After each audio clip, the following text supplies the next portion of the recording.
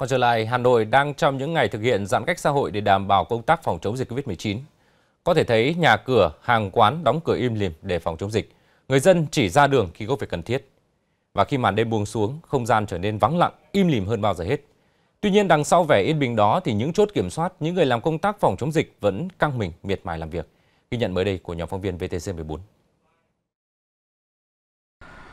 Dù chỉ mới ờ, 9 giờ tối, tuy nhiên mọi con đường dẫn đến khu vực bờ hồ Hoàn Kiếm Hà Nội đều trong trạng thái vắng vẻ và tĩnh lặng như thế này. Lác đác có một vài phương tiện và người di chuyển qua khu vực này, nhưng tất cả đều trong trạng thái gấp gáp và khẩn trương. Theo ghi nhận của nhóm phóng viên chúng tôi, trong buổi tối ngày hôm nay đã không còn tình trạng người dân ra ngoài đường để tập thể dục hay đi dạo như những ngày trước đây. Ca trực của ông Phạm Văn Tương bắt đầu từ 19 giờ 30 phút và kéo dài đến 23 giờ đêm. Từ khi Hà Nội thực hiện giãn cách xã hội, không khí vắng lặng bao trùm toàn bộ tuyến phố Tràng Tiền.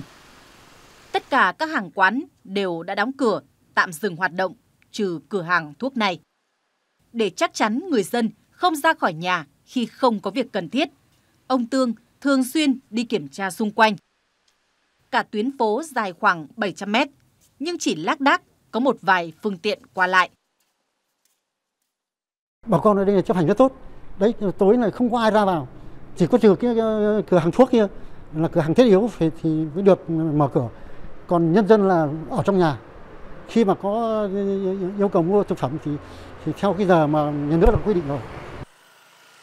Nhiều tuyến phố khác của thủ đô Hà Nội như Tạ Hiện, Phan Đình Phùng, Tràng Thi, Lạc Long Quân, Thọ Lão cũng trong tình cảnh vắng vẻ, im lìm.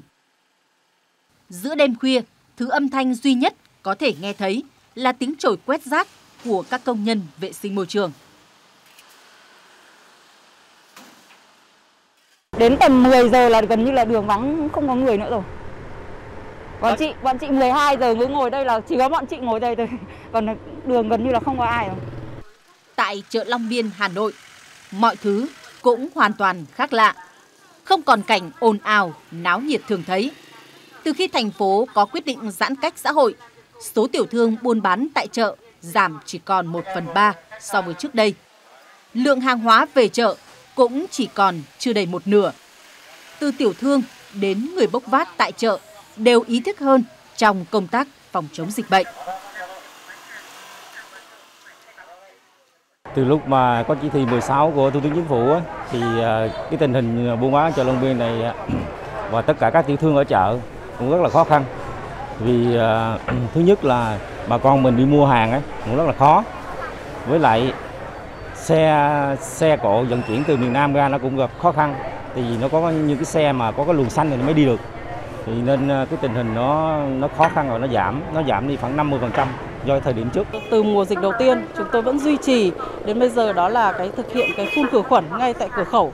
Ờ, khi ờ, dành cho các phun phun khử khuẩn dành cho các cái xe ô tô ra vào, người ra vào chợ. Ờ, và chúng tôi tuyên truyền tích cực trên hệ thống loa truyền thanh, cũng như tuyên truyền trực tiếp tới các hộ kinh doanh là thực hiện nghiêm cái quy định 5K của Bộ Y tế đã khuyến cáo. Chúng tôi cái ờ, duy trì cái phun khử khuẩn trên toàn địa bàn nữa.